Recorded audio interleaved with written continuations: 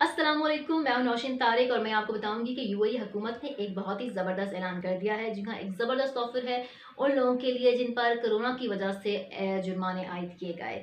आप भी इस मौके से फ़ायदा उठा सकते हैं, क्योंकि ये ऐलान, या ये ऑफ़र ये है कि अब अगर आपको 500 से सत्तर हज़ार दिरहम तक के दरमियान किसी भी तरह का जुर्माना हुआ है, भारी या कम और आपके पास इसके इसके लिए रीज़न है कि ये जुर्माना आपको ज़्यादा कर दिया गया है, आपकी गलती कम थी या आपकी गलती नहीं थी, फिर भी आपको जुर्माना आयद कर दिया गया है तो आप जो है वो इस वेबसाइट पर जाकर एप्लीकेशन दें, www.pp.gov.ae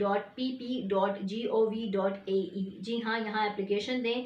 आपके जुर्माने माफ़ कर दिए जाएँगे हाफ़ भी माफ़ किए जा रहे हैं फुल भी माफ़ किए जा रहे हैं, ताहम ये एक अच्छी खबर है और आप इससे फ़ायदा उठा सकते हैं, अगर आप पर भी किसी किस्म का जुर्माना है। अब तक की ये अपडेट थी जो मैंने आपके साथ शेयर की मजीद अपडेट्स के लिए हमारा चैनल सब्सक्राइब करें बेलाइकन प्रेस करें। डेली बेसिस पर आपको नोटिफिकेशन मिलते रहेंगे। अपना बहुत ख्याल रखिएगा। अल्लाह हाफिज़।